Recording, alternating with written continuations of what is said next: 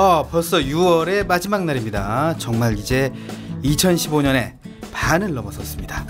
남은 하반기에는 좋은 일만 일어나길 바라봅니다. 네, 마음속으로만 바라지 말고 올해 남은 날 동안 이루고 싶은 일이 있다면 지금 소리내어 말해보세요. 인디언들의 명언 중에 이런 말이 있거든요. 만 번 말하면 이루어진다. 네, 그래요. 여러분이 바라는 모든 것이 이루어지는 하반기가 되길 바라며 6월 30일 화요일 내 손을 잡아요. 출발합니다. 안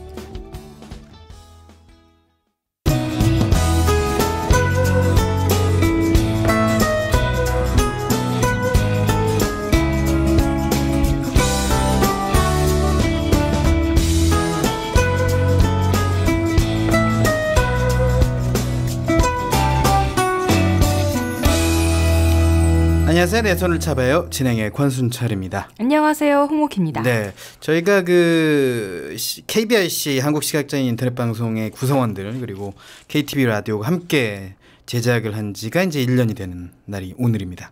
그러게요. 네, 6월 30일 모두들 축하드리고요. 네. 네. 그래요. 그 그때 이제 선릉 스튜디오에서 했고 내 손을 음. 잡아요가 첫 방송이었어요. 그쵸. 예, 그래서 그 이창훈 첫 방- 씨가 네, 맞아요. 어, 이창훈 씨도 나오고 또 서재영 일간 스포츠 기자도 나오고 그랬었어요. 맞아요. 아 그리고 선뭐 홍옥희 씨도 또 가, 나와서 막 시각 게시판 뭐 이런 것도 하고 그랬고. 네, 맞아요. 어, 1년 전과 지금 음, 어떻게 좀 변한 것 같습니까? 일, 어 일단 이 라디오 스튜디오가 일단 변했고 세종시로 어, 왔으니까. 그러니까 네. 조금 더 또 넓어졌잖아요 스튜디오 자체가. 네, 네. 음. 그리고 어 순철 씨랑 이렇게 방송을 매일 할 기회가 없었잖아요. 그냥 그렇죠. 가끔 하는 정도였는데 이렇게 뭔가 매일 하니까 더 친해지는 기분도 들고. 음, 근데 뭐 일정 거리를 유지하자 네. 너무 마이크가 붙어 있으니까 일정 거리를 유지하자고. 이 정도에 친해졌죠 우리가. 음, 네. 네. 네, 홍옥희 씨가 또 DJ로 데뷔를 했고요. 네, 맞아요. 네. 그렇습니다. 그럼 감회가 새로운 1년이 아닌가 하는 생각도 들게 되면서요. 앞으로도 또 더 좋은 방송을 할 것을 약속을 드리고 네. 또 시각장애인들에게 맞춤형 정보를 드리고요. 또 음. 시각장애인뿐 아니라 많은 음, 비장애인 여러분들에게도 맞춤형 정보 그리고 음. 다양한 정보 네. 또 즐거움까지 드릴 수 있도록 저희가 최선을 다하도록 하겠습니다. 네, 저도요. 전 저의 철학이 방송은 재밌어야 한다는 거기 그렇습니다. 때문에. 네. 자, 만번 음, 외치면 이루어진다. 음. 이렇게 얘기를 하는데 어떻게 만 번 뭐 외칠 생각이에요? 구자욱? 아 그러고 싶은데 네. 그 선수는 네. 제가 뭐 닿을 수 없는 거리에 있어요. 네. 그래서. 현실적으로 하자면 아마 독립 음. 하면 제 집을 갖고 싶다 이런 음, 거. 인서울하게? 네. 어, 음. 그래요. 하여튼 좋은 일이 있었으면 좋겠고요. 저는 뭐 여친 아 음, 그거는 어. 만 뭐, 번을 굳이 안 네. 외쳐도 이루어질 거다. 뭐 한 한두 번 말해도 될 것 같은데. 아, 알겠습니다. 여러분들은 지금 제가 썸을 탄다는 걸 공개적으로 어, 홍옥희 씨가 얘기했고요.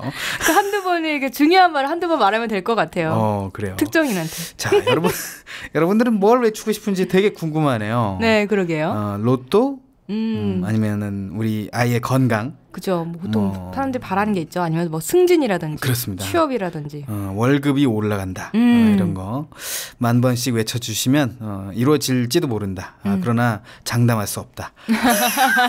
라는 말씀을 어, 드리고요. 어, 저희는 이제 방송으로서는 어, 꾸준이라는 단어를 좀 외쳤으면 좋겠다. 음, 꾸준히 오래 했으면 음. 좋겠다. 그래요, 맞아요. 예, 그래서 만 번을 꾸준을 속으로 외치면서 방송을 네. 해드리도록 하겠습니다. 자, 홍키와 콘스철이 진행하는 내 손을 잡아요. 오늘의 코너 소개해드리겠습니다. 화요일을 풍성하게 채워주는 코너죠. 초보들도 쉽게 할 수 있는 요리를 알려드립니다. 우리들도 요리왕이 준비되어 있습니다. 다음은 시각장애인들에게 유용한 IT 정보를 드리는 신비한 IT 세상이 기다리고 있습니다. 그리고 건강 정보 톡톡 시간 준비되어 있습니다. 네, 내 손을 잡아요에서는 여러분들의 많은 참여를 기다리고 있습니다. 네, www.facebook.com kbrc ktb로 메시지를 주시면 참여할 수 있습니다. 그리고 인터넷에서 포피 채널을 검색하면 블로그를 통해서도 참여가 가능합니다. 방송에 참여하신 청취자 분께는 문화상품권을 드립니다. 많이 참여해 주세요. you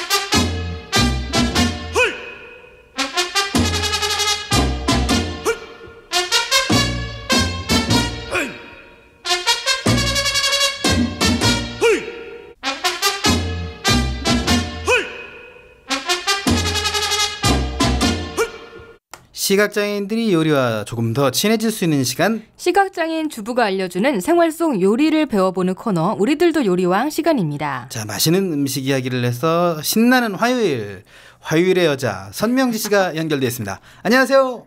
안녕하세요. 안녕하세요. 네, 깜짝 놀랐죠. 화요일에 여자라니까 좀 이상한데요? 네. 저도 이상해요.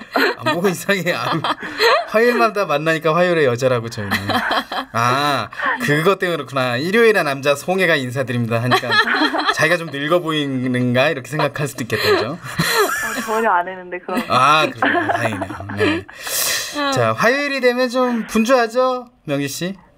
네, 그런 것 같아요. 음, 뭐 뭐, 방송 때문은 아니고, 어, 할 일 많고, 어, 네, 뭐 이래저래 음. 월요일 날이 또 분주하게 가잖아요. 음. 근데 네. 월요일만큼 그 월요일에 못했던 것도 막 화요일로 밀려오는 것 같아요. 음, 음. 화요일에 못한 건 수요일로 밀리고 어, 그런 거죠 뭐. 그러니까요. 그래요. 오늘은 어떤 요리가 준비되어 있습니까? 오늘은 어, 좀 특별한 저장식품. 음. 네, 매실청과 매실장아찌. 음. 매실이 그 6월의 제철이죠, 그죠? 맞아요. 네. 네. 음, 일본인들은 김치로 알려져 있어요. 아 이걸 맞아요. 김치로 먹나요? 어, 김치처럼 먹는다. 아. 어, 밥이 딱 있으면 이 매실이 없으면 안 돼요. 안 먹어요. 네, 맞아요. 음. 네, 내, 내가 아 이건 중반에 얘기하려 그랬는데 제가 이제 일본 이제 맹학교하고 네. 음, 서울맹학교 교류 행사가 있어가지고 네. 제가 이제 그 일본은 안 가고 국내로 그 분들이 왔을 때 네. 그 가서 도시락을 먹는데 뭔가 이제 포도알 같은 그 오. 음, 거봉이죠 거봉 네네. 거봉처럼 큰 그 알이 있더라고요 이게 무슨 후식인가 이러면서 탁 집었어요 네. 아이고 셔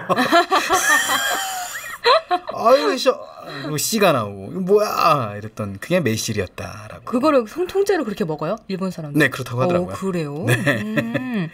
뭐 그리고 이런 매실청, 매실장아찌 뭐 이런 게 우리나라에서는 요리를 할 때 다방면에 쓰인다고요? 네, 맞아요. 음. 네, 매실은 거의 설탕 대신으로 쓴다고 할 정도로 이렇게 많이 쓰죠. 요즘. 음. 어. 그렇군요 장아찌로 담가두면 우리 네. 다른 장아찌처럼 저장식품으로 해서 언제든 꺼내 먹을 수 그렇지 있고 몇 년도 네, 가죠 되기도 해요. 네. 음. 몇 년씩이나? 이 몇 년 동안 가는 거니까 좀 만들기 어렵지 않습니까? 왠지 이런 거 막 어려울 것 같아요. 네, 그러니까. 어렵지는 않은데요. 네. 번거로워요. 아, 번거롭다. 굉장히 번거로워요. 몇 년치 일을 한꺼번에 한다고 생각하면. 오. 아, 그러니까요. 지금 당장 어제 한 것도 안에서 미뤄두고 오늘로 음. 미뤄왔는데 몇 아이고, 년치를 한꺼번에 한다 하자니. 좀 까다롭더라도 어, 요리왕 코너와 함께 하고 나면 누구나 이 도전할 생각이 나지 않겠습니까? 맞아요. 너무 쉽게 설명을 잘 해주시니까. 그러니까 한번 저희도 도전할 수 있도록 잘 설명해 주시길 바라면서 자 그러면 이 매실청과 매실장아찌 지금 담궈야 하는 이유는 그 제철이라 그런 거죠? 네, 지금 해, 매실 네. 나오니까요. 네. 음, 이미 사실은 지났어요. 그래서 음. 제가 방송 타이밍을 잘못 잡았다 음. 생각이 들긴 한데 잊어버리기 전에 혹시 매실을 가지고 계신 분이 있으면 그렇죠. 어, 네. 이렇게 담궈 보는 것도 늦지 어. 않았다 생각이 들어요. 또 네. 이제 황매실 같은 경우는 이제 청매실과 황매실이 있는데요. 청매실은 이렇게 어, 매실이 살짝 덜 익었을 때, 푸릇푸릇할 때 이렇게 수확을 하는 거고, 조금 더 있다가 매실이 이렇게 조금 더 많이 익었을 때 수확하는 걸 황매실이라고 해요. 네. 네. 황매실은 조금 더 당도가 있고, 이렇게 많이 익었으니까, 네, 그 수확 시기는 6월 말이거든요. 음. 혹시 지인이나 이렇게 또 매실 주문할 수 있는 곳이 있어서 황매실을 주문할 수 있다. 그러면은 늦지 않은 것 같아요. 음, 네. 다 익은 매실. 네. 음, 네. 그 저희 그 외가가 매실 농사를 짓습니다. 어. 그래서 이제 항상 이게 매실을 따서 그게 청매실이 됐을 때죠. 네. 매실 따서 이제 보내는데 그 매실 밭에 가봤더니 음, 다 따가고 없다고. 어, 벌써 사람들이? 네, 그거 원래 따면 안 되는 거거든요. 주인이 있는 밭인데 도둑을 맞았어요. 도둑을. 어머, 한해 농사를 네, 그렇게 된 거예요? 그래가지고 저는 이제 매실 구경 올해는 못해요. 어. 아, 원래 매년 담가 왔었는데? 그렇죠. 아, 그렇군요. 그럼 이거 배워, 배우면 춤자 씨는 필요가 없 음, 내년 내년에는. 네, 내년을 위해서. 제가 팟캐스트 이제 잘 다운 받았다가 내년에 다시 해봐야든지 해야지 뭐. 네, 그럼 일단 재료는 매실이 당연히 필요하겠고요. 다른 재료는 뭐가 필요한가요? 네, 설탕이에요. 음, 설탕. 네. 그렇죠. 네. 어, 매실을 오래 저장하려면 이게 그 상하지 않아야 되잖아요. 네. 그래서 설탕을 이용을 하고요. 또 매실에 실제로 생 매실을 그냥 먹기는 굉장히 쉬워요. 제가 음. 그랬죠? 딱 깨물었어. 이 뭐야 이게? 너무 너무 쉬워요. 네. 네. 그래서 그걸 어느 정도 농도를 맞춰주는, 네. 어, 신 농도랑 당분을 적절히 섞어서 새콤달콤한 맛이 나도록 해주고요. 네. 그리고 또 오래 저장할 수 있게 도와주는 게 또 설탕이기도 하고요. 네. 또 뭐가 필요하냐면, 어, 매실을 이렇게 청이나 장아찌를 담았을 때 보관할 수 있는 통, 네, 그쵸. 네, 용기. 네. 네. 그것도 재료가 될 수 있어요. 음. 그 네, 용기 용기 진짜. 때문에 그 매실이 또 발효가 되는 거니까. 음. 네, 음. 못 담을 수도 있거든요. 이렇게 다 해놨는데 담을 데가 없으면 곤란하잖아요. 네. 네. 그럼 뭐 그 용기는 뭘로 써야 돼요? 항아리로 써야 되나? 항아리가 가장 좋기는 해요. 음, 네. 그렇죠. 왜냐면 숨을 쉬니까 음. 이 매실이라는 게 이렇게 발효되면서 가스가 생겨요. 그래요. 그래서 음. 가끔 그런 얘기 들려요. 폭발했다고. 어. 열었다가 막 부글부글 소리도 나고 막 어 좀 별일이 다 있더라고요. 오, 그럼 이거 주의사항은 이따가 나- 알려주시겠네요. 알려주시면 네. 되겠고요. 네. 그래요. 항아리가 제일 좋은데 보통 만약 뭐? 없다면. 어. 대체할 수 있다면 이제 유리 용기, 음, 음. 유리 유리병. 용기 그리고 음. 요즘에는 또 플라스틱도 많이 쓰시더라고요. 가볍고 용량 큰 게 많이 나오니까. 음. 그리고 음. 유리나 플라스틱도 요즘에는 숨을 쉬는 용기라고 해가지고 이렇게 가스 같은 경우는 밖으로 배출이 되고 음. 네 안에서는 발효가 될 수 있게끔 음. 나오는 그런 저장 용기들이 있어요. 네, 음. 그렇군요. 네. 자, 그런 그러면 뭐 이용해 주시면 돼요. 네, 유념하실 게 또 뒤에 나오니까 끝까지 한번 들어보시고요. 네. 자, 그 매실 청을 담- 담게 되면 이거를 어디로 활용할 수 있는가? 그 다양한 요리로 쓴다라고 이제 얘기는 많이 나오는데 네. 어디에 명지 씨는 활용을 하는 편입니까?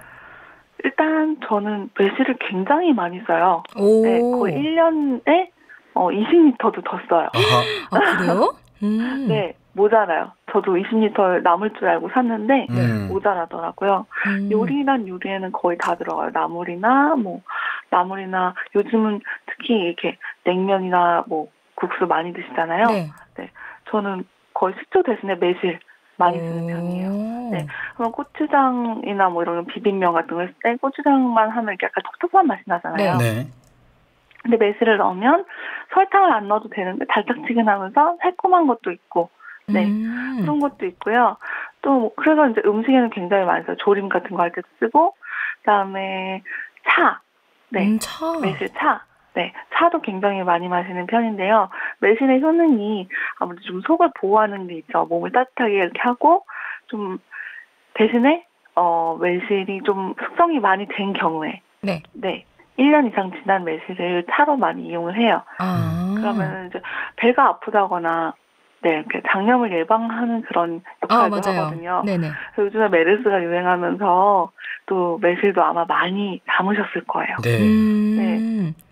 오. 그래서 음, 배가 살살 아프다 싶을 때 마셔주면 싹 가라앉는 그런 효과도 낼 수 있고요. 맞아요. 새끼가 있어도 네, 네, 네. 그때도 따뜻한 물에다가 이렇게 네, 마시면 또 몸이 이렇게 후끈후끈해지면서 이렇게 싹 가라앉기도 하고 요즘 네. 같은 여름에는 얼음 동동 띄워서 네, 음. 찬물에다가 매실을 음료수로 음. 타 먹으면 그렇죠. 다른 음료수 사 먹는 것보다 훨씬 맛있어요. 그럼요. 요새 매실 네. 음료수 많잖아요. 초록 뭐뭐 뭐 이런 음, 거. 맞아요.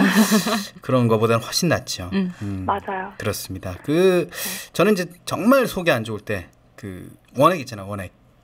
네. 원액을 이제 소주 잔딱한 잔에 태- 털어 아, 넣었던 원액을 마셔요? 음, 전- 네, 그러기도 해요. 네. 음. 너무 안 좋으면 그럴 때가 있어요. 맞아요. 자, 그러면 본격적으로 매실청 제대로 한번 담가 보겠습니다. BGM up 나와 있어. 네. 네, 이제 먼저 가장 중요한 게 손질을 해야 되는 거죠. 매실 어떻게 네. 손질을 해야 되나요? 일단 매실을 잘 씻어야 해요. 아, 어, 왠지 잘 씻기 되게 어려울 것 네. 같아요. 그 매실이. 네? 뭔가 이렇게 씻기는 느낌이 잘 안 날 것 같아요. 매실이. 아, 아, 좀 이렇게 겉에가 약간 보송보송한 네, 그래서. 생겨가지고 네. 그래서 약간 좀 요즘에는 소다 같은 거 많이 이용하시죠. 음, 네. 네, 네, 그래서 소다를 살짝 푸는 물에다가 씻으면 좋아요. 음. 네, 그럼 조금 덜 찝찝하고 좀 이렇게 오염 물질도 많이 섞여서 나가니까 네. 네, 소다물에 이렇게 씻어주시면 좋고요. 매실이 과육이 단단하다 보니까 씻기는 그렇게 어렵지 않으실 거예요. 음, 네. 씻기 전에 저장할 제품이다 보니까 어, 이렇게 좀 모양이 많이 일그러졌다. 네. 그래서 이제 벌레가 먹거나 약간 뭐 썩은 게 있다. 네, 그러면 미리 골라내시는 게 좋아요. 음, 음, 그렇죠. 그리고- 상하게 같이 있으면은 상해. 네, 맞아요, 맞아요. 맞아요. 음. 네, 안 좋으니까 다 미리 골라주시고요. 그다음에 어, 이렇게 씻은 매실을 소쿠리나 이렇게 받쳐서 채반에 받쳐서 물기를 뺍니다. 네. 네. 물기 빼는데 양이 많을수록 그렇게 매실을 소량씩 담그진 않아요. 보통 이렇게 그쵸. 5kg 이상. 네, 네 그렇게 담으니까 물기를 빼는데 한 반나절 정도 걸리는 것 같아요. 아, 그래요. 음, 꽤 오래 걸려요. 네. 그래서 좀 키친타월이나 좀 키친타월이 찝찝하다 이렇게 좀 많이 묻어난다 하시면 린넨 행주 같은 거 있으시면 그런 걸로 깨끗한 면보나 이렇게 대서 물을 이렇게 조금 닦아주시는 것도 좋아요. 음. 그러면 물기 빼는 시간을 절약할 수 있고 매실이 이제 공기 중에 노출되는 시간도 줄일 수 있으니까 네 어, 그렇게 물기를 다 이제 깨끗이 제거해 주셔야 돼요. 물기가, 물기가- 하나도 있으면 안 돼요. 물기가 아, 있게 되면 어떻게 되는데요? 아무래도 이게 저장하는 거다 보니까 네. 물론 설탕이 발효되면서 물이 생기긴 하는데요. 네. 일단 습하다는 거는 모든 게 좋지는 않죠. 음. 생길 수도 있고 그다음에 매- 이렇게 그냥 설탕에 섞여서 좀 이렇게 맛이 변질될 수도 있고 음, 자연스러운 건 아니니까 네. 물기를 미리 제거해 주시는 게 좋아요. 네. 제거를 해주시고 어, 꼭지를 다 따야 돼요. 음, 네. 이 꼭지를 따는 게 쉽지는 않은 게 어, 매실에서 이렇게 손으로 확연하게 느껴질 정도로 튀어나와 있는 것들은 따기가 쉬워요. 네. 그렇죠. 근데 잘 안 만져지는 경우가 있어요. 음, 분명히 이제 보이는 분들은 이렇게 보이는데 손으로 만졌을 때는 너무 깊이 있어서 이렇게 잘 안 만져지거나 음, 아니면 꼭지가 너무 짧아서 음. 딸 때. 근데 안에는 조금 조금은 남아 있는 경우. 음. 아, 네네. 그거 따기 네. 어렵죠. 네. 네, 그것도 따야 되는 네. 거군요. 네, 음. 다 따야 돼요. 음. 왜냐면은 그 이유는 뭐냐면 청을 담았을 때 나중에 네. 이렇게, 이렇게 설탕이 발효돼서 다 이렇게 엑기스가 되고 나면 그 꼭지가 매실이 쪼그라들면서 꼭지가 둥둥 떠요. 아, 네. 그래서 굉장히 지저분해져요. 그렇죠. 그렇죠. 네. 어, 네, 네. 어떻게 그러면 어떤 방법이. 있습니까? 그에 어 그럴 때는 보통은 이제 많이 이쑤시개로 네 해서 음. 따는 경우가 있어요. 음. 음, 그렇게 어렵지는 않은데 네. 안 해보시면 어, 좀 이렇게 막막하실 수 있는데요. 그렇죠. 이거는 살짝 어, 이렇게 정한인의 도움을 받아도 괜찮을 것 같아요. 그래요. 네. 맞아요. 왜냐면은 처음 해볼 때는 음. 이게, 이게 정확히 꼭지가 있는 건지 없는 건지 네 구분하기가 어려우니까 네. 저는 이제 하다 보니까 알겠더라고요. 음. 음, 네 그래서 한 번만 이렇게 도움을 받아보시면 네, 그 다음부터는 아마 혼자 하실 수 있을 거라고 생각해요. 그렇군요. 네. 네. 그 다음은요? 그리고 꼭지를 제거합니다. 그리고 청은 씨를 제거하지 않아도 돼요. 어, 네. 음, 보통 그냥 담거든요. 어, 그렇군요. 그래서 이제 그렇게만 하면 매실 준비는 끝이에요. 음. 음, 그다음에 이제 설탕을 준비해야 되는데 네. 설탕은 매실과 동량을 준비하는 거예요. 매실이 오. 5kg면 설탕도 5kg. 오호 매실이 10kg면 설탕도 10kg. 그렇죠. 우와. 왜냐면 1대1을 했을 때 가장 이게 상할 염려가 없거든요. 맛도 네. 좋고. 음, 어떤 경우는 이렇게 맛이 매실 담았는데 나는 분명 청을, 청을 담았는데 술맛이 난다. 음. 쓴맛이 바- 난다. 그런 발효됐어, 발효됐어. 해요. 네. 네, 그래서 설탕을 정말 어, 오래 두고 먹을 거니까 네, 1대1 넣어주시는 게 좋아요. 그 설탕은 저 흑설탕 써야 되는 거 아니에요? 어, 사실은 상관은 없는데요. 네. 색깔 때문에 좀더 아, 이렇게 네. 약처럼 보이고 조금 더 이렇게 진하게 보이려면 흑설탕을 쓰는 게 좋아요. 음. 하지만 뭐 흑설탕이 몸에 더 좋은 건 아니에요. 그렇죠. 똑같지. 네, 네, 네. 똑같고 오히려 백설탕이 좋다는 요즘 그런 어, 추세거든요. 음. 예전에는 색깔이 그래서 흑설탕이 더 좋은가 보다, 가공이 덜 됐나 보다 했는데 음. 어, 반대의 정보였더라고요. 음, 음. 그렇군요. 그 완전히 추출된 설탕의 색깔은 원래 하얗다고 하더라고요. 네. 네. 그래서 그냥 어, 하시고 싶은 대로 근데 저는 흑설탕을 이용을 했고요. 네. 네. 네. 그래서 이제 설탕은 준비가 되는데 그 전에 용기가 또 먼저 준비가 돼요. 그렇죠. 설탕을 붓고 매실 붓고 이렇게 해야 되는 거예요. 네, 그렇게 해야 되는데 또 중요한 건 뭐냐면 오래오래 저장할 거기 때문에 용기를 소독해야 하거든요. 아, 네 네. 네, 네. 용기에 먼지나 벌레가 있으면 안 되겠죠. 네. 이물질이나. 그래서 유리 용기 같은 경우는 어, 이렇게 소다 같은 거 있으시면 네. 확실히 천연 세제니까 그런 걸로 이용하시면 뽀득뽀득 잘 씻기고요. 네. 다른 항아리도 마찬가지고요. 그렇군요. 음. 그리고 좀 작은 용기 하실 수 있는 분들은 들통 같은 거에다 뜨거운 물을 부어서 열탕 소독을 하시는 거예요. 아. 네. 그러면 증기로 뜨겁게 용기 내부를 이렇게 소독하는 거죠. 네. 네. 그래서 어 이렇게 미생 이렇게 좀 안 좋은 생물도 다 죽고 먼지도 이렇게 잡고 해서 어 그렇게 하는 걸 열, 이렇게 열탕 소독이라고 하거든요. 네네네. 저는 굉장히 많이 이렇게 하는 게 쌤이나 어, 청이나 꼭 청 아니더라도 장아찌나 뭐 이렇게 저장 식품을 담는 통은 열탕 소독을 하는 편이에요. 음. 음. 네. 그렇게 해서 열탕 소 이거는 자세한 문의는 이제 저한테 주시면 네. 네, 소독 네. 소독 시간이 아니니까요. 네, 네. 네, 네. 자, 그래요. 그 설탕을 이제 먼저 부어야 돼요. 매실 먼저 부어야 돼요. 그, 어, 매실이 나아요. 어. 왜냐면은 설탕이 녹아야 되거든요. 그렇죠. 네. 음. 근데 어차피 매실을 먼저 넣어도요, 매실이 이렇게 밀도가 낮다 보니까 매실 사이사이로 설탕이 다 들어가요. 그래요. 음. 그렇더라고요. 네. 다 파고들어요. 음. 그리고 이렇게 설탕이 잘 녹을 수 있게 생각해야 되는 거거든요. 음. 네.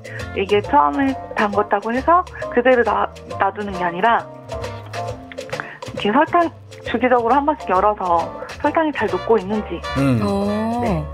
확인을 해주고 저어주고 해야 되거든요. 그렇죠. 아, 음. 적기도 해야 되고요. 네. 네, 설탕이 잘 녹지 않고 굳어있는 부분에는 그 당분 때문에 곰팡이가 생길 수도 있고요. 네. 음. 그래서 잘 저어줘야 돼요. 스며들 수 있게 설탕이. 네, 네.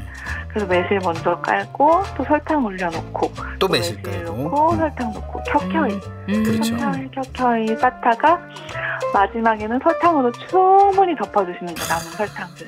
음. 자, 아주 참 듣기만 해도 참 아, 맛있을 것 같네요. 부담스러운 일이죠. 네. 아, 네. 네. 네. 그래서 이제 설탕으로 마무리를 이렇게 충분히 덮어서 네, 용기를 닫고 음. 두셔도 되고요. 항아리 같은 경우는 랩을 씌워주시는 게 좋아요. 네. 음. 네. 부더기가 생길 수도 있어요. 아. 아, 그렇군요. 네. 음. 벌레나. 네. 네. 어차피 벽을 숨을 쉬기 때문에 랩핑을 충분히 해주셔도 괜찮아요. 아, 네.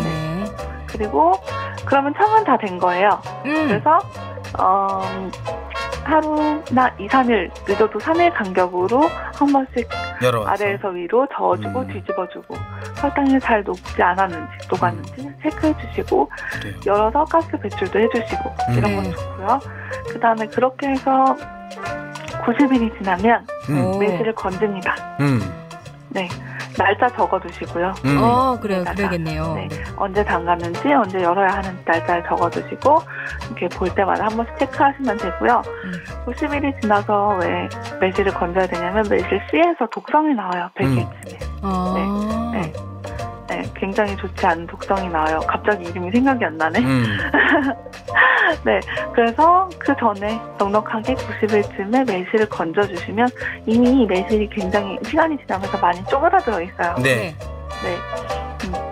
그래서 남은 엑기스만 이제 편리한 용기나 예, 병이나 음.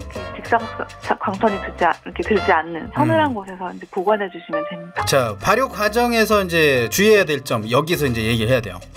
어, 어떤 걸 주의해야 돼요? 가스가 생겨요. 음. 네, 음. 이게 발효되면서 발효 가스가 생기거든요. 음. 그래서 어차피 매실도 저어줘야 하니까 음. 네. 네, 그때 그때 뚜껑을 한 번씩 열어서 네, 가스를 빼주시는 거. 음. 막 보글보글 소리가 나는 경우도 있고요. 오.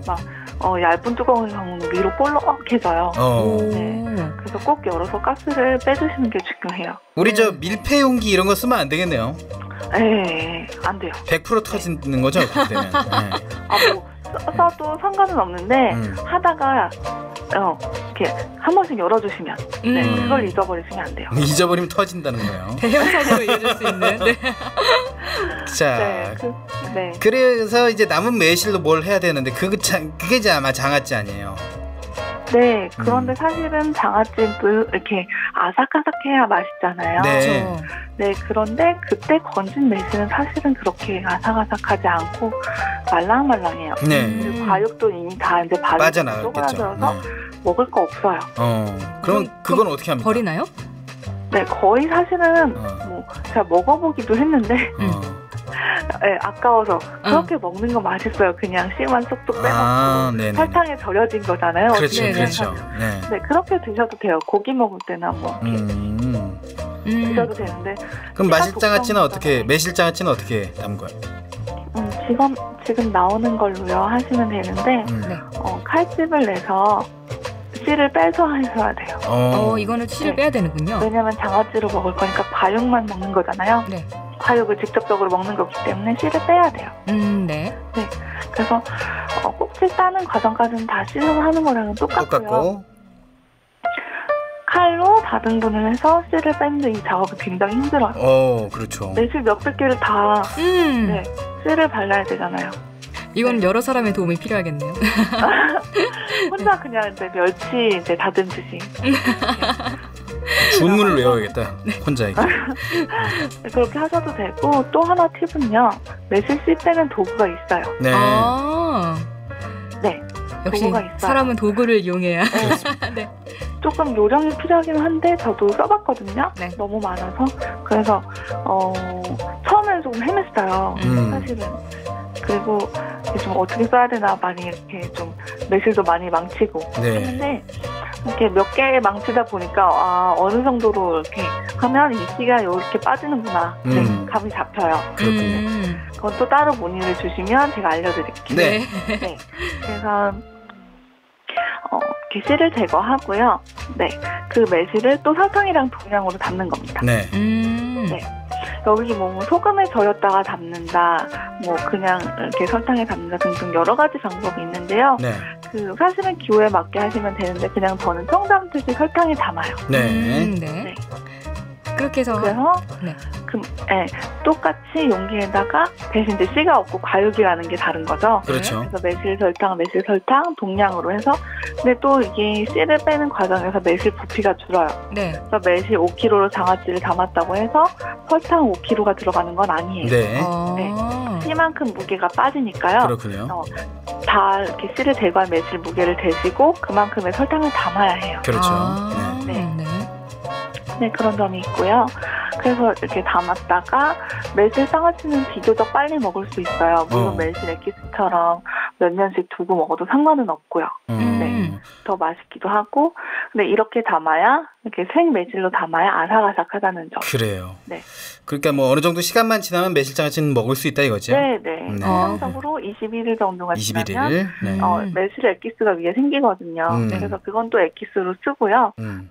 매실이 자작자작 잠길 정도만 엑기스가 있으면 돼요. 네. 음. 그래서 매실을 건지셔서 그냥 상큼한 맛에 사실 그렇게 드셔도 되고 음. 그다음에 원래 장아찌는 고추장이랑 들기름 깨 묻혀서. 네, 음. 이렇게 버무려서 음. 드시면 맛있습니다. 그래요. 네. 자, 우리들 이왕 다양하게 활용할 수 있는 매실청, 매실장아찌 만들어봤습니다. 네, 맛도 좋고 건강에도 좋은 매실청, 매, 매실장아찌 여러분도 한번 도전해 보세요. 명지 씨 오늘 고맙습니다. 감사합니다. 네, 지금까지 우리들도 요리왕이었습니다. 배우고 싶은 요리가 있거나 요리에 대한 궁금증이 있다면 주저하지 말고 질문해 주세요. www.facebook.com kbicktv로 메시지 보내주시면 됩니다. 그리고 인터넷에서 포피 채널을 검색하면 블로그에서도 참여할 수 있습니다. 방송에 참여하신 청취자분께는 소정의 문화상품권을 선물로 드립니다.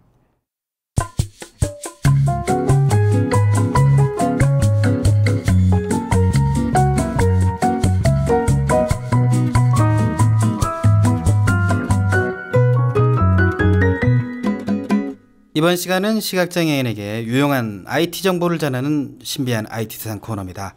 오늘 신비한 IT 세상에서는 Gmail에 대해 알아보겠습니다.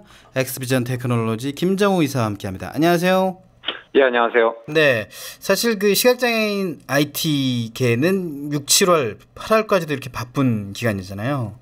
네, 지금 이제 한참 그 보조기기 보급 사업 네, 예, 관련해서 이제 그 어, 어, 좀 이번 주 금요일 날 음. 어, 선정자 발표가 네.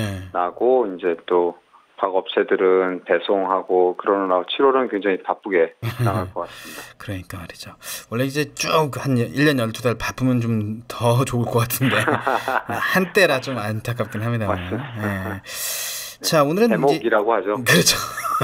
대목 기간을 보내시고 있는 엑스비전 네. 테크놀로지 김정호 이사님과 함께 오늘은 메일 얘기를 좀 해봐야 될 것 같아요. 일상생활에서 이제는 스마트폰까지 보급이 되면서 이메일은 이제 뭐 기본이라고 할 수 있겠죠. 어, 예. 그런데 음. 이제 의외로 또 주변에 시각장애 사용자들 보- 보면 되면은 음. 그 이메일 쓰는 거에 꽤 어려움을 느끼셔서 음, 네. 지금도 이제 재활통신망 그렇죠. 예, 내부 통신 음. 메일 정도만 쓰시는 경우들이 꽤 많습니다. 그것도 안타깝습니다. 네. 어, 예, 안타까운 일인데 뭐 사실 그 사용자의 예, 탓을 하기보다는 어, 그만큼 우리 IT 환경인 시각장애인들이 적응해서 사용하기에 이렇게 쉽지는 않다라는 걸로 이제 이해할 수 있을 것 같고요. 음, 네, 조금 아, 복잡하죠. 상황이라고. 네. 예, 특히 이메일은 굉장히 복잡하죠. 음, 그러니까 말이죠. 어, 옛날에는 뭐 아웃룩 익스프레스라든가 이 다양한 프로그램을 썼는데 요새는 좀 웹메일로 좀 바뀌는 추세예요. 저도 이제 네이버를 쓰고 있고 대부분 많은 분들이 네이버나 다음 국내 포털 사이트에 네, 네. 메일을 쓰고 있는데 그 이사님께서는 어떤 메일 쓰고 계세요? 어, 저는 뭐 여러 메일을 쓰는데요. 주로 저는 G메일을 사용합니다. 아, Gmail. 네, 네, G메일 다른 웹메일과 차이점이 뭔지 궁금하네요. Gmail. Gmail, Gmail 좋다 이런. 저도 Gmail 뭐 계정이 유튜브 채널 때문에 있긴 합니다만은. 네. 음. 어, G메일은 그 다른 어, 국내 뭐 그 네이버나 다음 또는 다른 그 메일 서비스들과 달리 어, 그 기본 HTML 페이지라는 어, 접근성이 굉장히 뛰어난 네. 그리고 시각장애인들을 이제 주로 고려한 어, 그런 그 이메일 페이지를 대체 페이지를 제공합니다. 오. 어, 기본 HTML 페이지는 사실 시각장애인들에게만 좋은 건 아니고, 그, 예를 들어서 느린, 어, 웹 브라우저 환경에서는 굉장히 편한, 오. 어, 예, 인터넷 속도가 느리고, 음. 그런 경우에는, 어, 간단하게 이제 이메일을 작성하고 메일을 확인하는 데는, 어, 아주 참 좋은 그 웹, 어, 웹메일 서비스인데요. 음, 따로 그 그런 기본 HTML 주소가 있는 거예요? 그 메일 페이지. 아, Gmail로 들어가시면 음. 그 화면 상단에 그, 어, 그 기본 HTML 보기라는 음. 링크가 존재합니다. 네네. 클릭하시면 어, 페이지가 전환이 되고 음. 그 다음에 이제 원래 일반적으로 우리가 사용하는 Gmail 음. 아, 그 좀 더 다양한 기능을 제공하는 Gmail 페이지로 전환하려면 표준 보기를 표준 보기. 음. 어, 저 표준 보기도 크게 불편하진 않았었는데. 네. 표준 보기가 어, 그 사용하는데 뭐 큰 문제는 없는데요. 네네. 어, 그런데 이제 표준 보기보다는 저는 기본 HTML 그 보기가 음. 어, 헤딩 처리나 이런 게 좀더 어. 잘돼 있고 그 다음에 로딩 속도가 굉장히 빠르고 예, 그 다음에 그 좀 분명해가지고 음. 전 기본 HTML 페이지를 주로 많이 사용하고 그러니까 모바일 버전 그러니까 모바일 상황에서 모바일 환경에서도 있습니다. 예. 기본 HTML 보기를 좀 한다면 더 좀 뭐 괜찮겠네요. 뭐 페이지 로딩 속도 예, 이런 것도 예. 있고. 음. 그리고 특히 이제 그 매번 Gmail을 들어갈 때마다 기본 HTML 보기를 클릭하실 필요가 없이 네. 기본 HTML 보기를 기본 화면으로라는 링크가 존재하고 아, 있어요. 네, 네. 그래서 그 클릭하시면 어 그렇게 이제 항상 전환이 돼서 음. 어 Gmail을 로그인하시면 바로 음. 그 페이지가 뜹니다. 그, 그 점도 굉장히 편리한 것 같아요. 그렇게요. 그 기본 HTML로 이제 Gmail 사용했을 경우에 시각장애인들은 좀 어떻게 편리하게 쓸 수 있을까요? 어 일단 그 heading 구조가 굉장히 잘 되어 있어서 네. 그 쓰- 쓰시기가 편한데요. 어, 화면에 이제 그 처음에 페이지가 열리면 메일 목록이 쭉 최신 뭐 메일들이 쭉 리스트가 뜹니다. 네. 이게 heading level이 그 heading level 2입니다. 그래서 screen reader에서 heading level 2로 이동하는 단축키를 몇 번 누르면 바로 그 받은 편지함의 시작 부분으로 이동을 하게 되고요. 네. 그 다음엔 이제 탭키를 이용해서 메일 제목들이 링크 처리가 돼, 있, 돼 있으니까 네. 아, 이동하시면서 읽으시면 됩니다. 특히 메일 제목과 함께 본문의 그, 그 앞부분 내용이 같이 표시가 되기 때문에 어, 웬만한 거는 메일을 굳이 열지 않고 음. 저도 내용을 대, 대부분 확인하실 수가 있고요. 네. 어, 파일이 첨부가 된 건지 이런 부분도 어, 같이 표시가 됩니다. 음. 어, 그, 그런 면에서 이제 그 헤딩을 이동을 하셔서 이제 이용하시면 좋은데 흥미로운 거는 네. 끝쪽에는 헤딩이 없어요. 오. 그래서 네, 맨 끝에 가서 어, 오히려 어, 좀 번거롭다 싶으시면 맨 문서 끝으로 가신 다음에 헤딩 레벨을 거꾸로 올라오시면 더 편하게 빨리 이동하실 수가 네. 있습니다. 그런 면도 어, 이게 이제 그 디자인적으로 그런 부분들을 좀 고려해서 만들어진 것 같습니다. 네, 그래요. 이 Gmail에 좀 다양한 기능들이 좀 존재하잖아요. 네. 그 중에서 어떤 기능을 좀 추천하고 싶으세요? 어, Gmail은 특히 이제 Gmail, 구글은, 구, 아, Gmail은 원래 G, 그 구글에서 구글이죠. 운영하는 네. 메일 서비스죠. 네. 아, 그런 만큼 검색 기능이 굉장히 강력합니다. 네. 그 다음에, 아, 필터 기능도 되게 좋고요. 네.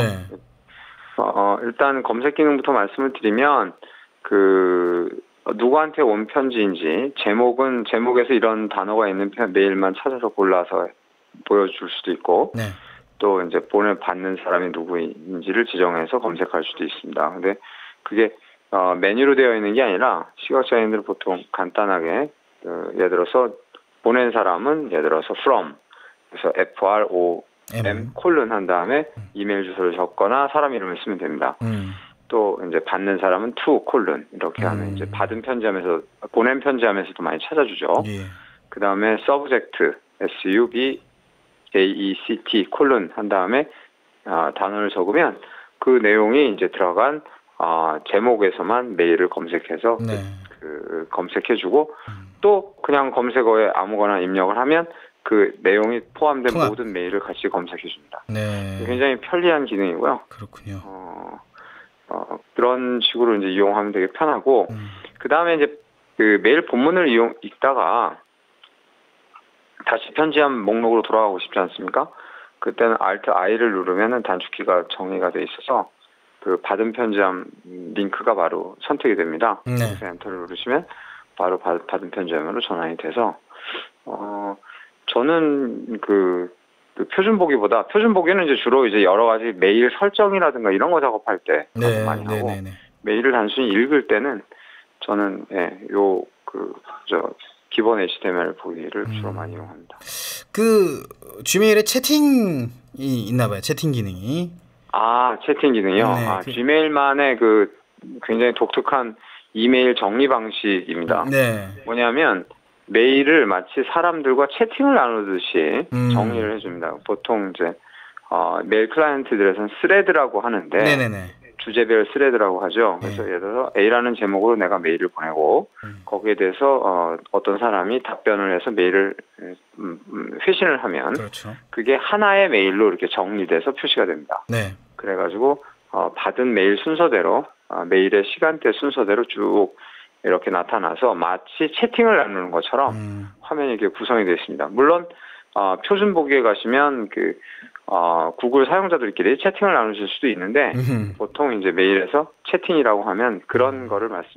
이제 보통 그렇게 간단하게 생각할 수 있어요. 문자 메시지가 이제 같은 사용자끼리는 아 쭉 그렇죠. 보이잖아요. 요즘은 또 그렇게 돼 있죠. 예, 예. 문자 그러니까- 메시지하고 어, 뭐 갔다 오시면 됩니다. 네, 이메일이 같은 제목으로 왔다. 혹은 같은 사람에게 왔다.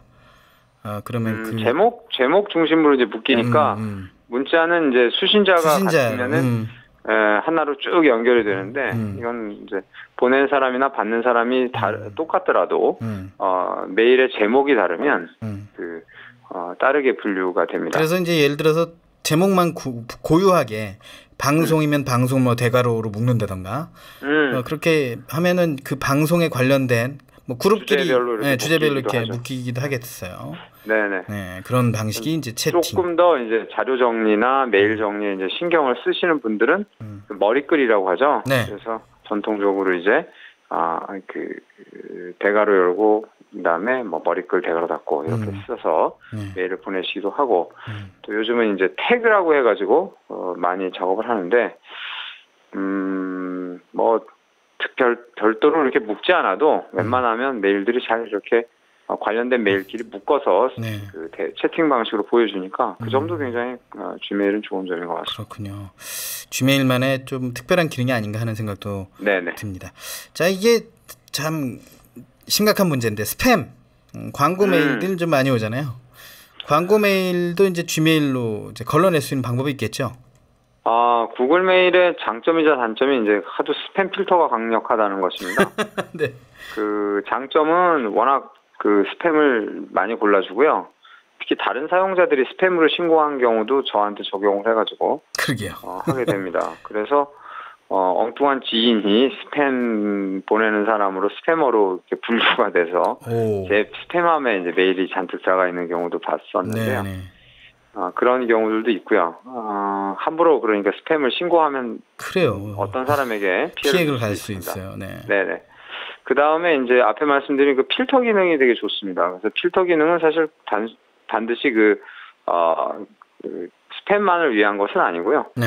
어, 그 여러 주제의 에, 메일을 하나로 묶어서 관리하고 싶을 때 필터를 많이 사용합니다. 음. 보낸 사람, 받는 사람, 또 제목, 뭐 첨부 파일이 있는지 유무, 뭐 여러 가지 조건을 설정을 해가지고 아, 그 그룹으로 이렇게 묶을 수가 있습니다. 음. 그러면 그게 레- 라벨이라고 해서 라벨을 지정해서 그 라벨별로 어, 메일이 이렇게 묶여서 정리가 되기 때문에 어, 그 여러 가지 메일 작업을 메일로 업무 처리라든가 이런 걸 하시는 분들한테는 굉장히 유용한 기능입니다. 네. 이런 것도 어, 그 기본 HTML 보기에서 다 지원을 하니까요. 음. 쓰시기가 되게 편리합니다. 저 우리가 휴대폰에서는 이제 이 기능, 그 연락처 저장 기능이 굉장히 활성화돼 있잖아요. 네. 어, 뭐 특별히 얘기하자면 주소록 기능이라도 볼 수 있는데 각 이제 웹메일에서는 주소록 관리를 해주는데 Gmail도 주소록 관리를 할 수 있을까 모르겠네요. 아, 주소록 부분이 조금 어, 기본 HTML 보기에서는 아쉬운 부분입니다. 아. 어, 일단은 주소록을 검색을 할 수가 있는데요. 네. 어, 주소록에 등록돼 있는 사용자라 하더라도 음. 그 이메일을 보낼 때라든가 이제 받는 받는 사람 참조란 이런데 이름만 써서 이렇게 보냈다가는 메일이 가질 않습니다. 아하. 자동으로 검색해서 이렇게 끼워 넣어주는 기능은 없고요. 네. 그 다음에 어, 기본 HTML 보기에서는 어, 이메일 그러니까 주소록을 삭제할 수는 있으나 추가할 수는 없습니다. 음. 네네. 네, 그런 점이 좀 음, 불편한 점이죠. 음, Gmail에도 좀 불편한 점이 있군요. 네, 그런 부분이 좀 한계가 있어요. 네, 그래요. 네. 이 Gmail을 이제 사용하다 보면 좀 유용한 팁이 좀 생기잖아요. 나만의 팁 같은 거. 네, 네. 그런 팁들을 좀 소개 좀 해주십시오. 음, 그 앞에 하나 팁을 말씀을 드렸는데 헤딩이 맨 앞에만 부분만 있고 음. 뒷부분은 없더라. 네. 그래서 어, 만약에 그 중간에 성가신 메뉴나 이런 걸 쉽게 이렇게 뛰어넘고 싶으시면 문서의 맨 끝으로 가신 다음에 아, 아, 그 헤딩 이동, 네. 그 뒤로 헤딩 이동을 한 번만 누르시면 바로 메일 본문이나 이런 쪽으로 이제 올라갈 수 있는 기능이 있고요. 네.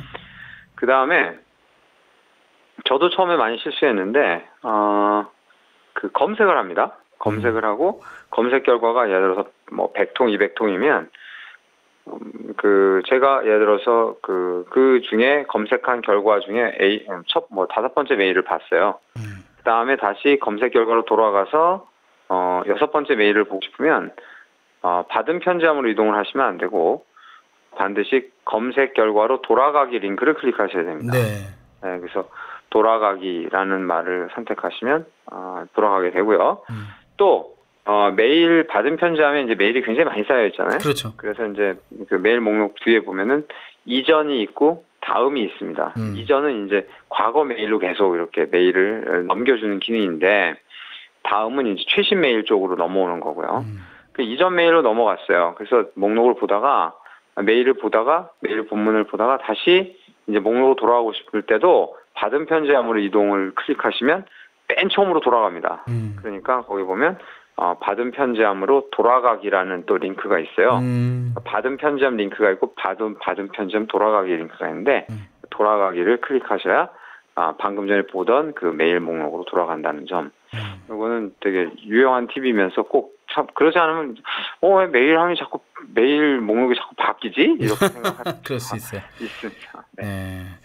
자, 참 그 웹메일 사용이 좀 어려웠던 시각장애인 분들은 그 기본 HTML 보기를 통한 G메일 사용을 좀 권장 좀 드리고 싶네요. 네. 음, 그래요. 자, 오늘 말씀은 여기까지 드려야겠습니다. 감사합니다. 고맙습니다. 네. 네. 오늘은 신비한 IT 세상에서는 G메일에 대한 이모저모 알아봤습니다. 더 많은 시각장애인들이 쉽고 재미있게 IT 기기를 활용할 수 있도록 앞으로도 다양한 소식 준비하겠습니다. 지금까지 엑스비전 테크놀로지 김정호 이사였습니다.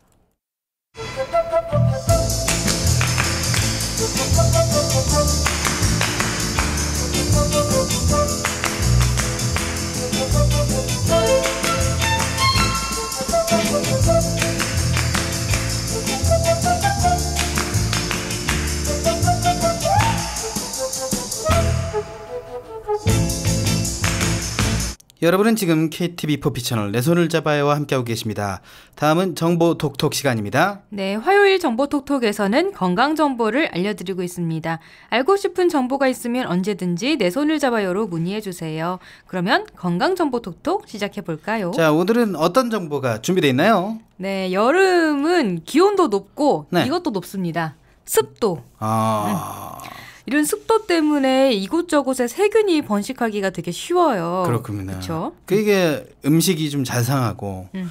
그 뉴스 여름날 뉴스 많이 보면 음. 식중독 걸리시는 분들 많습니다. 네, 항상 나오는 뉴스가 음, 있죠. 그래요. 어디에- 살모넬라, 네. 뭐 어디에 균이 비브리오 많다. 폐혈증 어, 이런 네. 식중독. 다음에 아 우리 식중독도 했잖아요, 그죠? 식중독을 해가지고 다양하게 식중독 그 오키 씨의 사연도 들어보고 아 맞아요. 음, 식중독 고등학교 얘기. 때, 네. 네. 식중독 얘기는 그 전 방송이 있으니까 여러분들은 네, 다운을 받아서 들어주시기 바라겠고요. 자, 그래요. 오늘은 그래서 어, 세균 얘기한다는 거죠. 음. 네, 이 세균이 음, 식중독뿐만 아니라 또 다른 병도 옮을 수 있잖아요, 세균으로. 네, 뭐 장염이나 눈병 음. 등 세균으로 인한 질병이 굉장히 많아요. 그래서 여름철에는 특히 세균에 감염되지 않도록 주의해야 되는데요. 그래서 건강정보 톡톡에서는 오늘 세균 감염 막는 법에 대해 알려드립니다. 근데 말이죠. 음. 그, 저희가 의사도 아니고 세균을 어떻게 막아? 보이는 것도 아니고. 네, 네. 세균 그 옛날에 세균맨이라고 그 아 맞아요. 캐릭터 있었죠, 세균맨. 네, 그 네. 애니메이션에서 네. 일본 애니메이션이 세균 있었죠. 잡는 게임도 있었고 우리가 게임을 해가지고 세균이 잡히는 건 아닌데 그걸 어떻게 하잔 말이죠? 그래 물론 이렇게 100%다 막을 수는 없는데 네. 생활 속에서 조금만 주의를 하면은 감염의 확률이 좀 낮아질 수가 있습니다. 아, 네. 자 그래요. 세균 감염을 낮출 수 있는 음. 음, 방법 어떤 방법들이 있는지 궁금합니다. 네, 좀 재밌어요. 어. 세균 감염 예방을 위해서는 WHAT, what 이것만 기억하면 됩니다. What? what What are you doing? What? 어, 어제부터 영어를 굉장히 잘하세요. 듣기도 잘하고 말하기도 아, 잘하네요. What? 이게 무엇? 이거 얘기하는 거죠. 네, 그 아. 무엇이라는 뜻의 what 단어 아, 있죠. 네. 그렇군요. 이, 근데 예 갑자기 생각이 드는 게 what과 음, 세균 음. 뭔 관계가 있나요? 네, 이 what은요 세균 감염의 매개체를 뜻하는 약자를 이렇게 오. 모아놓은 거예요. 그래서 W는 wet의, 습기, 음, 그리고 H는 hands의 손, 음, 그리고 A는 air conditioner의 에어컨, 그리고 음. T는 tools의 주방 도구. 줄지. 이렇게 합쳐서 what이 되는 거죠. 아, 그렇군요. 음. 오키 씨가 그 토익을 보고 와서 그런지 영어 쓰는 게 참 자연스럽습니다. 발음에 자신감이 넘쳤나요? 자, 그러니까 정리를 해보면 네. 세균 감염을 막기 위해서는 음. 습기, 손, 에어컨, 주방 도구를 조심해야 된다. 뭐 이런 말이군요. 네, 이 음. 네 가지만 관리를 잘해도 건강한 여름을 날 수가 있습니다. 어. 먼저 이 습기는 많은 분들이 다 상식적으로 알고 어, 계시겠지만. 어, 정말 벌레 음, 많이 돕니다. 어, 음. 습기가 많다면. 곰팡이도 좋아하고 네. 세균이 아주 번식하기 좋은 환경이죠. 습기가 음. 높으면. 그렇습니다. 그래서 여름철에는 실내 적정 습도인 40에서 50%를 유지해 주는 게 좋아요. 음. 예. 그리고 다음으로는 어, 손. 음. 모든 만 많은 만 병의 근본이 되는 이 손. 손을 잘. 씻어야 되고요. 그럼요. 저희가 뭐 계속 손 씻기는 음. 손 씻기도 또 자세히 알아봤지만 네. 항상 병 예방할 땐 손을 잘 씻어야 된다. 네. 손 씻기에는 아. 6단계가 있다. 그렇죠. 손 씻기 중요성 저희가 계속 건강적 뭐 톡톡 시간을 알려드리지 않았습니까? 네. 말안 해도 알죠. 네, 이제는 뭐. 그리고 여름철 필수품인 에어컨도 관리가 필요한데요. 우리 에어컨도 옛날에 관리하는 법 어, 알려드린 그럼요. 적 있었죠? 네, 예. 네. 에어컨에 선풍기하고. 예, 선풍기랑 같이 음. 이 에어컨에 물받이 필터라는 게 있는데요. 음. 이 부분은 주 1회 이상 소독을 해야 되고요. 음. 그리고 에어컨 필터도 청소를 자주 해줘야 됩니다. 그러니까요. 이게 에어컨이 공기를 주는 거거든요. 얘가 음. 우리한테 선풍기는 그냥 바람만 일으키지만 네. 얘는 공기를 줘요. 그리고 우리 호흡에 직접적으로 예. 관여가 있는 그러니까 거죠. 이게 만약에 청소 깨끗이 안 하면 오염된 공기 그대로 들어온다는 얘기예요. 그죠, 그죠. 아, 에어, 예, 음, 음. 관리를 좀 잘해야겠다는 생각도 들고. 예. 네, 이 에어컨 필터는 좀 음. 말씀드렸듯이 생활 정보, 음, 더 건강 정보였나요? 생활 정보 생활정보였나요? 톡톡에 아마 이었겠죠? 나왔어요. 예, 예. 그때 한번 나왔던 얘기, 예. 내용이고요. 그러니까 다운 받으시라고요. 네. 이렇게 장사하는 거죠. 네. 아무튼 이 그리고 항상 물이 닿는 주방 도구. 그렇죠. 물이 안 닿을 수밖에 없는 주방 도구. 예. 이것도 관리를 잘해야 됩니다. 네. 특히 행주 있잖아요. 행주. 아. 이게 세균이 굉장히 잘 자라기 때문에 음. 사용할 때마다 삶아서 잘 관리해야 됩니다. 아, 근데 사실 삶는 게 음. 또 시각장애인들은 불을 좀 무서워하잖아요. 음. 그렇다 보니까 음. 이 매번 삶는 것이 참 귀찮을 수도 있을 것 같아요. 네. 그리고 행주 뭐 상 닦을 때 쓰고 어. 뭐할 때 쓰고 뭐 할 때 쓰고 하다 보니까 사용할 때마다 삶으려면 좀 사실 좀 귀찮기도 해요. 네. 예. 그래서 만약에 이렇게 삶아서 관리하는 게 번거롭다면 음. 간편한 만능 도구가 있죠 우리에게는 전자레인지. 아 전자레인지 좋습니다. 네, 좋아요. 음. 어, 이거 전자레인지는 음. 요리할 때뿐만이 아니라 그냥 뭐든지 다 쓸 수 있는 것 이게 같아요. 보통 전자레인지에 이 뭐라 그래 위기감이 왔었던 적 있었잖아요. 예. 뭐죠? 그 전자레인지 나쁘다고 음식 데워 먹으면 음. 절대 아니거든요, 사실. 아 맞아요. 어, 음. 뭐 그런 말도 한때 있었죠. 네. 그래서 이 전자레인지를 이용하는 방법이 있는데요. 행주를 물에 담근 상태로 8분 동안 전자레인지에 돌리면요. 삶아서 소독하는 형식과 동일한 효과를 오, 볼수 있다고 합니다. 그렇군요. 어, 어쨌든 여러분 물을 담 물에 담가야 됩니다. 네, 물에 담근 그냥 상태로. 이게 하면 타, 타요. 네네. 네, 물에 담가가지고. 물에 네. 담가서 8분 동안 돌리시면 됩니다. 아 그래요. 아유 오늘 좋은 정보 많네요. 네, 오늘 건강정보 톡톡 여기까지예요. 여름철 세균 감염을 막는 어, 네 가지 습기, 손, 에어컨, 주방도구 잘 기억해서 건강한 여름 보내시길 바랍니다. What? 그렇습니다.